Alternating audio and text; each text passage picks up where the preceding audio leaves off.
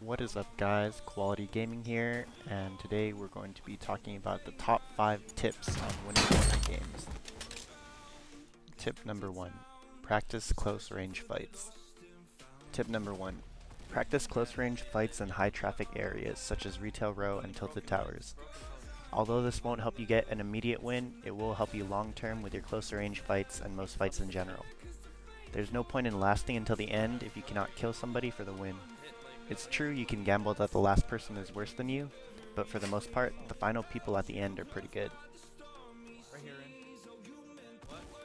Tip number 2. Change your building hotkeys.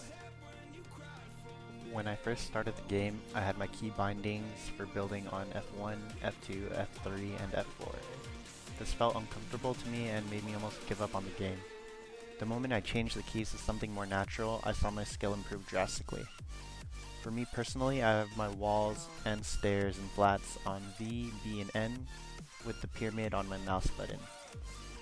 You can see during this fight how seamlessly I'm able to change to what I want to build to. Tip number 3. Practice your building. Don't rely on just your shooting skills. Someone with less shooting skill than you can beat you if their building skills are better than yours.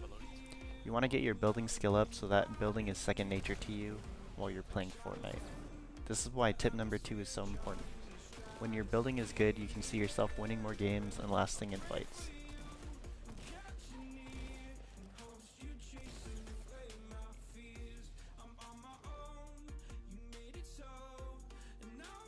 Tip number 4. Communication is key. One of the most underrated skills in Fortnite is communication. If you're able to relay information to your teammates, you guys have a better chance of winning the game. Any information you're able to give, just tell your teammates. Ask them if they need health, meds, anything. Don't be stingy with your items because once you die, your items are gone forever. When it comes to enemies, try to relay what you hear and what you see. If you see an enemy, make sure you say the position of where they are, maybe approximately how far they are, how many there are, and always say there are at least an X number amount of enemies unless you know there's for sure a certain amount. The last thing you want is your teammates getting mad at you because you called the wrong number of enemies. Also, it is important to call out what you hear, especially when it comes to shots. So use your headphones and call out when you hear shots from directions.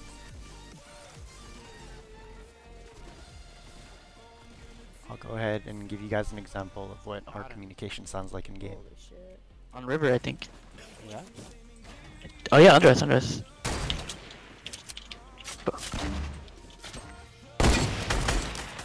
I'm going. Nice. Alright. Yeah, yeah, me too.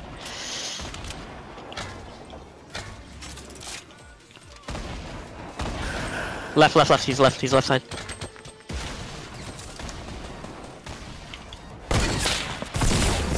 Got him. Good shit, bro. Tip number 5. Play with fun people. There's no point in winning your Fortnite game if you're not having fun. It's No, if you you- go it's like after the tier do the 70, they got dead body one, or you can spray paint a dead body, like at a crime scene, you know how they have like it chalked out? Yeah. Yeah, bro, I'm trying to get down, that shit's gonna look sick, because when I get killed, I'm just spray that shit on the floor. Like, there's your dead body, motherfucker.